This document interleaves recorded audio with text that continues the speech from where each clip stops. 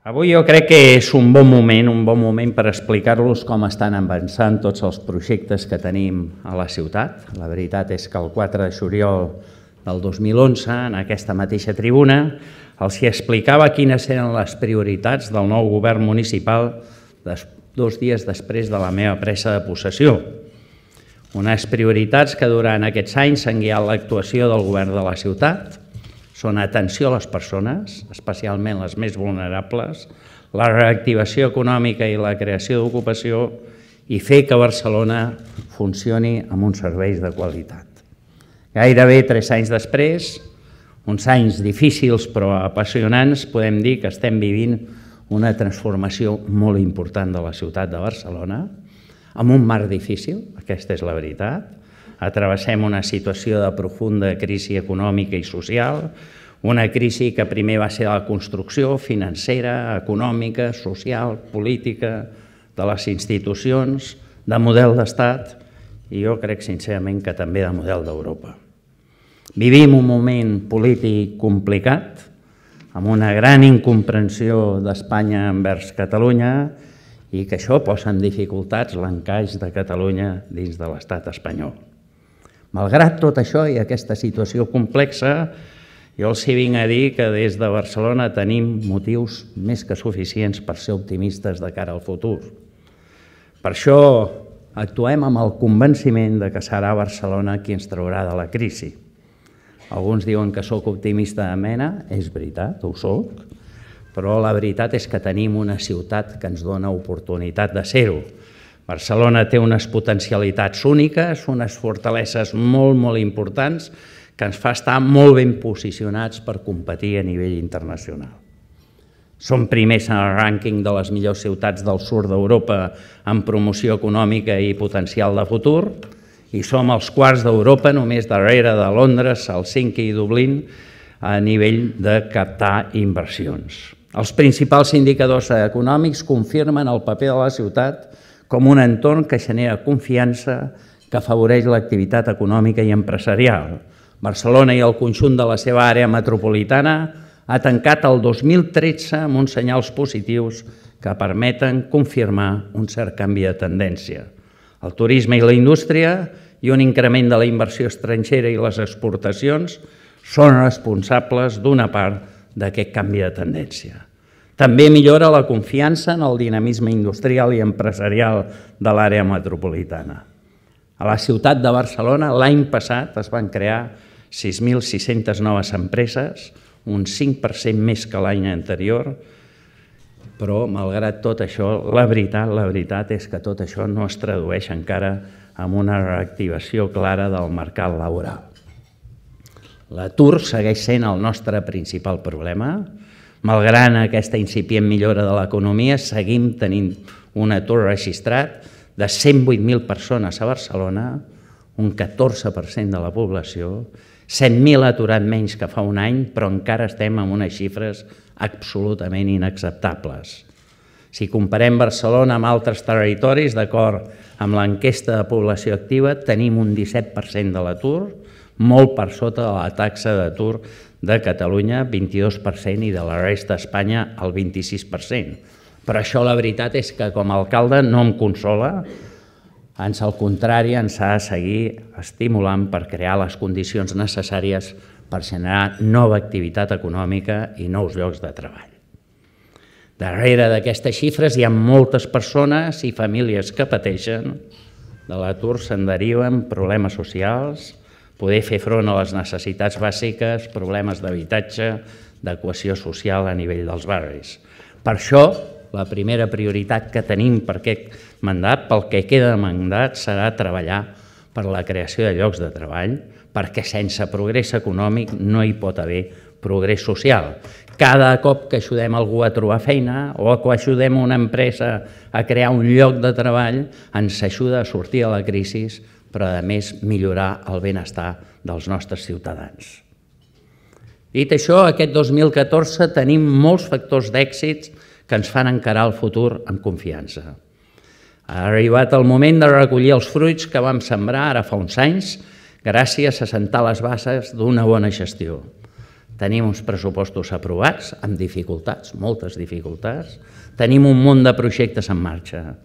Tenim una ciutat solvent que fa dèficit zero, que redueix l'endeutament, que és capaç de pagar els seus proveïdors a menys de 30 dies i aquestes finances sanejades ens permeten fer inversions per 525 milions d'euros.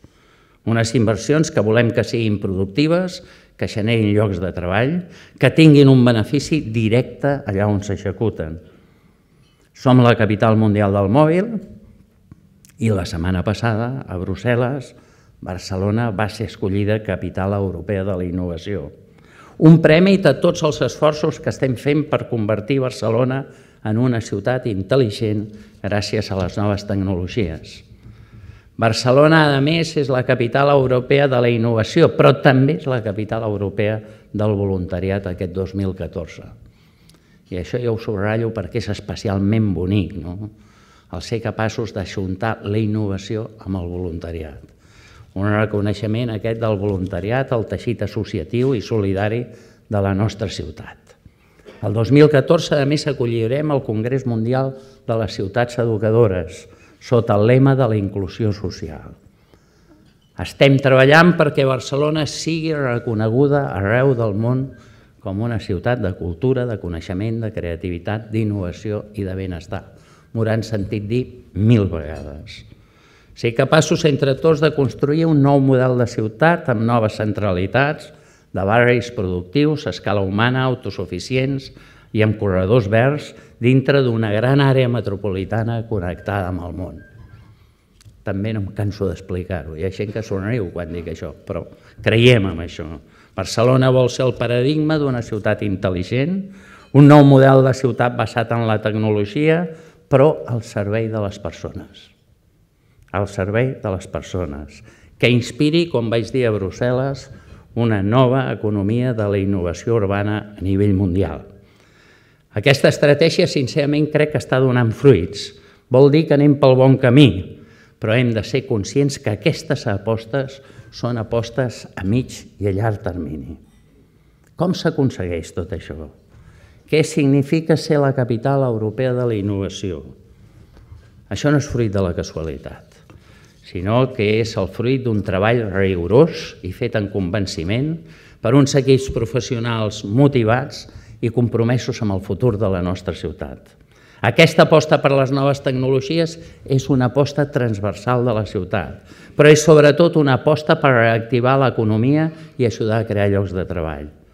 Un dels aspectes que ha destacat la Comissió Europea de Barcelona com a capital europea de la innovació ha estat l'ús que fa Barcelona d'aquestes tecnologies per posar-les al servei de les persones. Aquest fet de vincular les noves tecnologies amb la millora del benestar i la qualitat de vida de les persones és el que ens fa ser diferents i referents en aquest àmbit.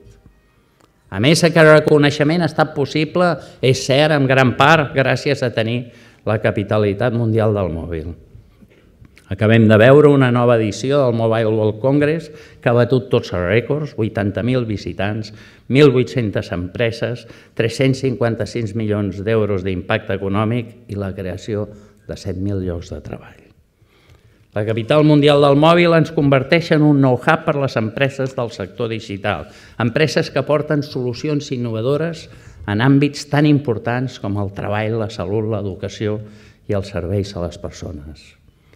Les tecnologies de ciutat intel·ligents, els sectors, les aplicacions de mòbils ens estan ajudant a millorar serveis com el transport públic, l'enllumenat, l'aparcament, la gestió dels residus i de l'aigua o l'atenció social i sanitària. Estem introduint la tecnologia de la informació per millorar el benestar i la qualitat de vida de les persones com en els serveis de teleassistència i geolocalització, amb detectors de fum, de gas i de caigudes de casa a les cases de les persones grans. Aquesta és una aposta també per la sostenibilitat, amb l'aprofitament energètic per les xarxes de calefacció i climatització en àmplies zones de la ciutat, com el Fòrum o el 22 arroba. També fem una aposta per la implantació del vehicle elèctric, a Barcelona ho estem fent a través d'autobusos i taxis elèctrics.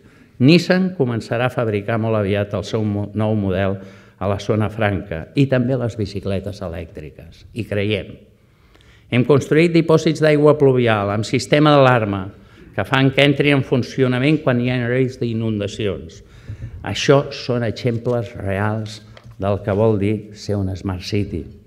La Comissió Europea també ha destacat la nostra aposta per la innovació social, la transparència i el govern obert, així com la promoció d'aliances públiques privades per compartir els millors projectes de futur. Per això hem creat la City Protocol Society per definir els estàndards de qualitat que han de complir les ciutats intel·ligents.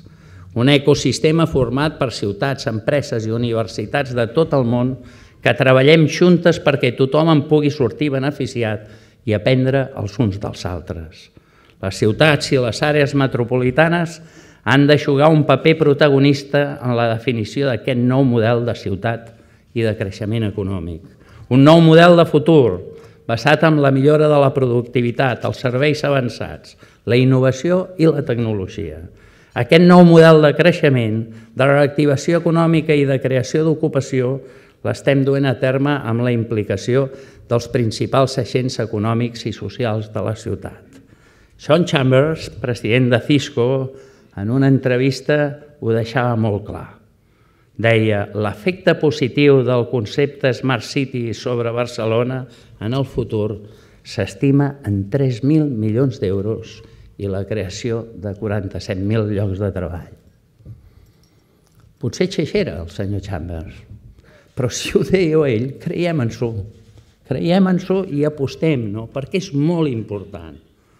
Fa pocs dies presentàvem el Barcelona Grow Center, un edifici innovador que aglutina en un únic espai tecnologia, emprenedoria, competitivitat, recerca, innovació, formació. Allà estarà ubicada l'oficina d'atenció a l'empresa, un únic punt de contacte entre empresa i administració, que hem posat en marxa amb la col·laboració de la Cambra de Comerç. També s'impulsaran nous espais d'incubació empresarial molt importants, com el Mobile Startup Barcelona, i el Corporate Startup Barcelona, una incubadora corporativa. Al Barcelona Grow Center ja tenim la Fundació Mobile World Capital i el Cibernarium i serà la seu de la futura agència de la marca Barcelona, entre altres serveis i organismes. Amb la posada en marxa de l'agència Marca Barcelona, un consorci entre l'Ajuntament i la Fira, volem prioritzar el posicionament internacional de la nostra ciutat en clau econòmica i empresarial.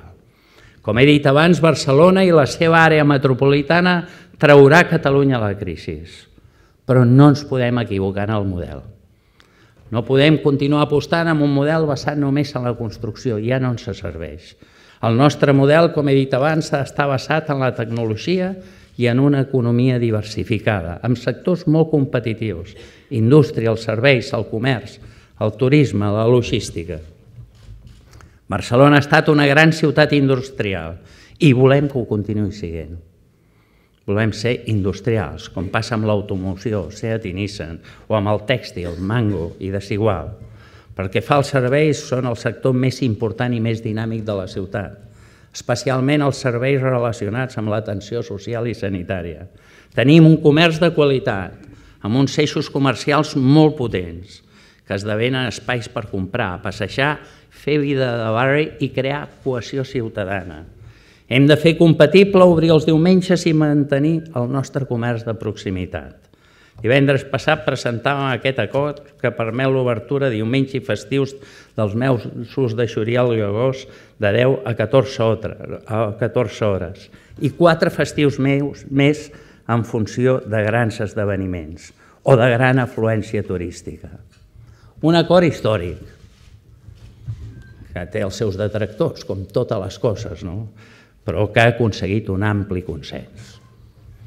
Un ampli consens important no? de les parts implicades. Ningú s'ho creia que ho podríem fer, no? Ningú s'ho creia. Ho hem fet, hi ha gent que no està contenta, però ho hem fet. Des de l'Ajuntament estem treballant per protegir i promoure els establiments emblemàtics. Volem posar-los valor, assessorar-los per afavorir la seva viabilitat econòmica i garantir la seva conservació patrimonial. La setmana passada vam anunciar una suspensió de llicències que afecta a 389 comerços i establiments històrics de la nostra ciutat mentre elaborem un pla específic per a la seva protecció. Jo a tots els diria, de totes maneres, que alguns es podien haver espavilat abans, eh? perquè la lau tots sabíem que ens afectava. No? Tenim també uns mercats municipals magnífics que dinamitzen tot el comerç del voltant. Estem impulsant la remodelació de Sant Antoni, Ninot, Sants, Galbany, Guinardó. El cas d'èxit dels nous encants és un cas extraordinari. Ens confirma que els mercats són molt més que un lloc per anar a comprar. La gent hi va a trobar-se, a fer l'aperitiu, a voltar, s'ha convertit en una nova atracció de la ciutat pels que hi vivim i pels que venen de fora. Ningú posa de dubte que el turisme és el sector més dinàmic que tenim i l'únic que no ha deixat de créixer malgrat la crisi. Som la quarta ciutat europea en nombre de visitants estrangers, només per darrere de Londres, París i Roma. L'any passat van rebre 7,5 milions de visitants, 2,6 milions de creueristes, 16,4 milions de pernotacions hoteleres. El nostre, a més, és un model de col·laboració públic-privada d'èxit, sostenible, responsable, que està reconegut amb el Premi Biosfera per part de l'UNESCO. És en aquesta línia que hem de seguir avançant per no morir d'èxit i treballar per desconcentrar el turisme d'unes poques àrees de la ciutat. Entre tots hem d'aconseguir que els beneficis del turisme reverteixin en una millora del benestar i de la qualitat de vida de la gent de Barcelona. L'impuls d'aquests sectors econòmics ha d'anar acompanyat també d'una obsessió, per l'obsessió de crear llocs de treball, crear llocs de treball.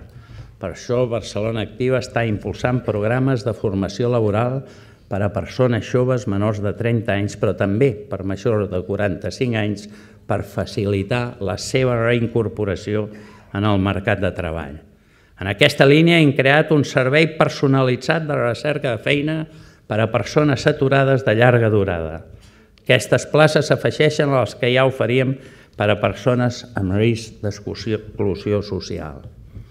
Aquest 2014 posem en marxa un nou programa d'ocupació per oferir 450 llocs de treball mitjançant ajuts a la contractació principalment en empreses i entitats del tercer sector. El tercer sector ha de jugar un paper molt important com a motor econòmic de la nostra ciutat. Com he dit abans, no és una casualitat que Barcelona sigui alhora capital europea de la innovació i Capital Europea del Voluntariat el 2014. Són distincions d'una manera de fer les coses de la nostra ciutat, entre tots, sector públic, sector privat i molt especialment el tercer sector. El futur econòmic de Barcelona passa per fer una aposta molt, molt important, molt gran per l'economia social. Aquesta és una prioritat molt clara per part del govern d'aquesta ciutat. El sector social, no em canso de dir-ho, no és només despesa.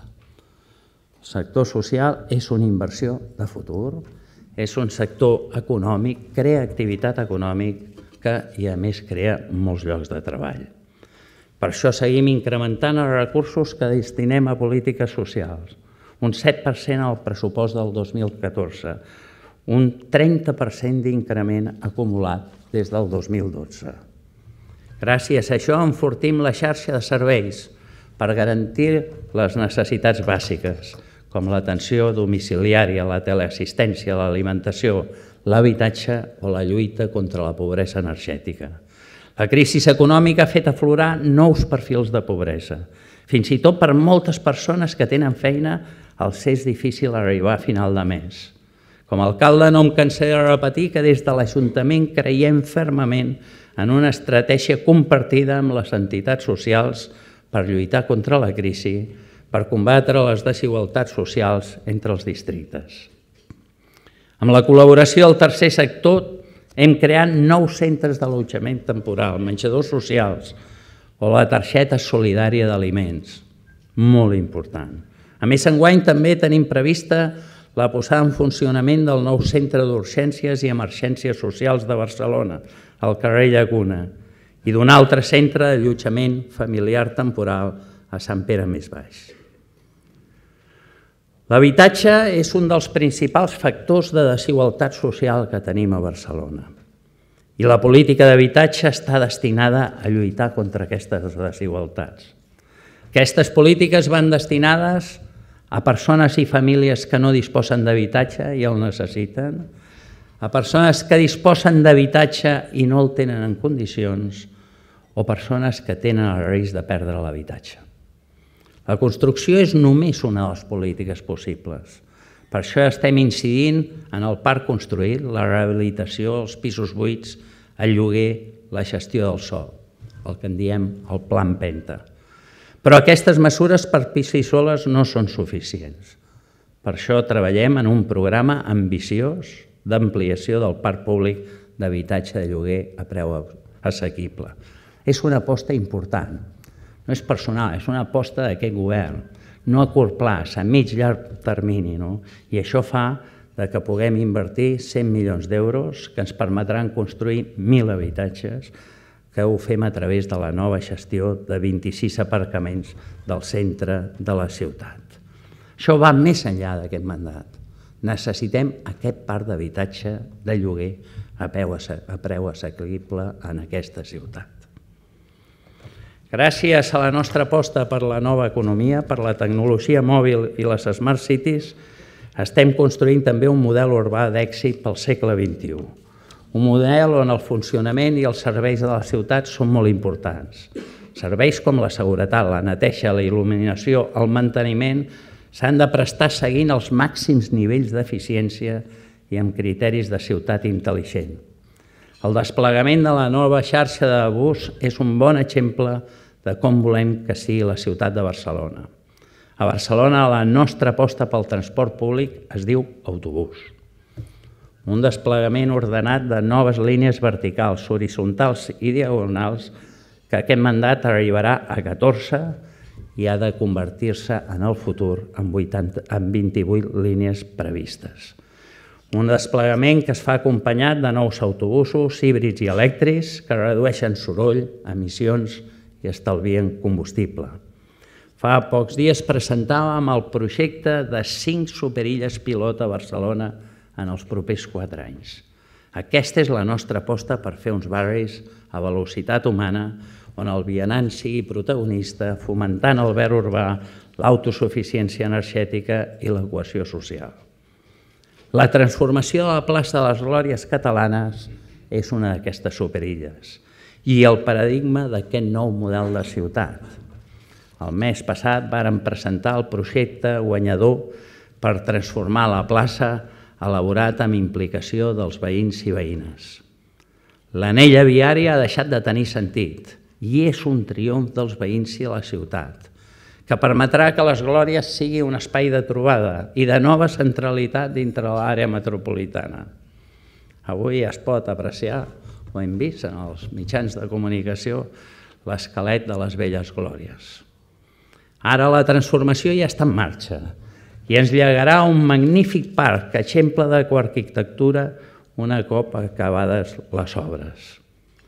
Altres projectes que posen de manifest aquest nou model urbà és la millora General Mitre, la cobertura de les vies de Sants, millores per portar la qualitat urbana a tots els barris, transformacions emblemàtiques, l'Avinguda Diagonal, el Passeig de Gràcia, el carrer Balmes, el Paral·lel, el Passeig de Sant Joan. Obres també d'impacte, la Gardunya Raval, la plaça Eivissa Horta, la plaça Isopa La Teixonera o la plaça de l'Assemblea de Catalunya Sant Andreu la plaça Alta de Can Clos a la Marina del Port, el carrer de Sant Gervasi de Cassoles, a Torre Baró, la plaça Eucaliptus. Així, accions a tots els districtes de Barcelona i a tots els barris de Barcelona.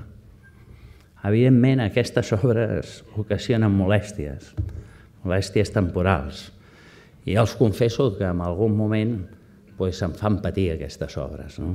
em fan patir. No? I em permetran que avui feliciti a les persones que porten la mobilitat i porten a termini aquestes obres a la ciutat de Barcelona, perquè la veritat és que les coses estan anant molt millor del que jo com a alcalde m'imaginava eh, que ens passaria. No? Els dono les gràcies perquè és una feina molt important fer aquestes obres amb la mínima afectació de la gent. També apostem per la regeneració urbana i la promoció d'habitatge assequible, en àmbits com Can Balló, la colònia Castells, Torre Baró o la Marina del Prat Vermell.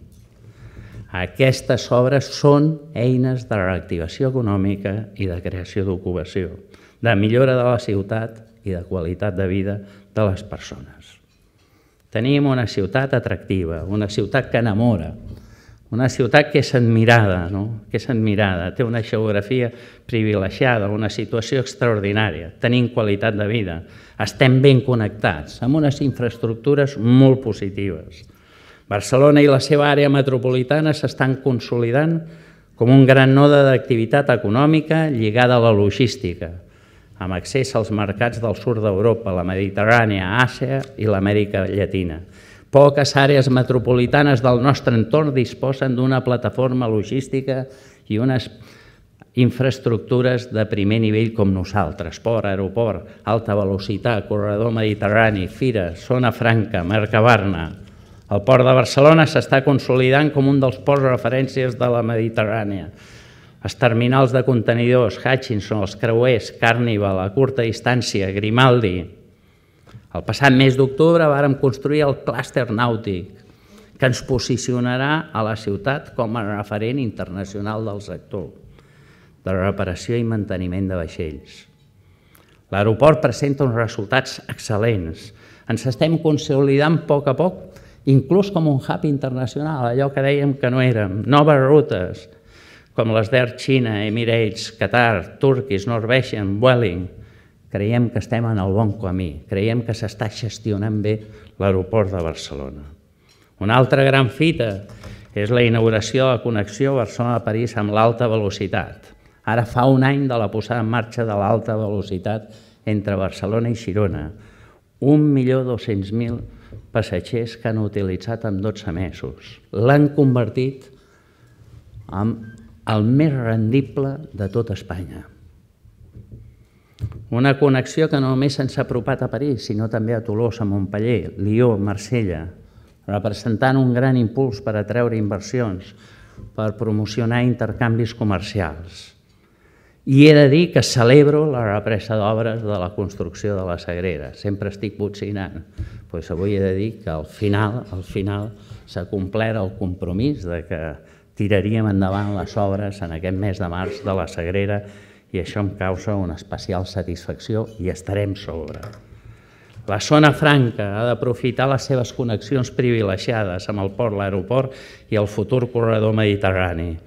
L'hem de dinamitzar com a cor industrial de la nostra ciutat i Mercabarna s'està consolidant com el gran clúster alimentari del sud d'Europa i de la Mediterrània. Les exportacions de Mercabarna van pujar un 30% l'any passat i estic convençut que el nou clúster farà que aquestes xifres encara millor. La Fira de Barcelona, una altra eina logística, és un potent motor econòmic per la ciutat de Barcelona, per l'àrea metropolitana i per tot Catalunya. Barcelona és una de les principals ciutats de fires i congressos a nivell mundial. Gràcies a què? Al treball de la fira. Això no passa per casualitat. Som la ciutat del món que ha rebut més congressistes en els últims cinc anys. Hem passat per davant de Viena. Barcelona és també la tercera destinació europea més sol·licitada després de Londres i París per celebrar esdeveniments empresarials aquest 2014. I això també, insisteixo, és gràcies a una bona col·laboració pública-privada. Amb tot aquest potencial econòmic, Barcelona té l'oportunitat de projectar-se al món com una ciutat de cultura, de coneixement, de creativitat, d'innovació i de benestar. L'aposta per l'educació és molt important. Escoles bressols, FP, universitats. Necessitem d'escoles de negoci a primer nivell mundial com tenim i potenciar-les. Des de finals dels anys 90 es va fer una inversió molt important en recerca Avui aquí l'Andreu Mascoller. És un èxit. Va ser una aposta per l'economia del coneixement, amb la creació d'un ecosistema ponent de col·laboració, potent de col·laboració entre universitats i empreses. Com a resultat, l'àrea metropolitana de Barcelona disposa d'alguns dels centres de recerca més importants, l'ITER, el sincrotró ALBA, el superordinador Mare Nostrum, l'Institut de Ciències Fotòniques, el Parc de Recerca Biomèdica.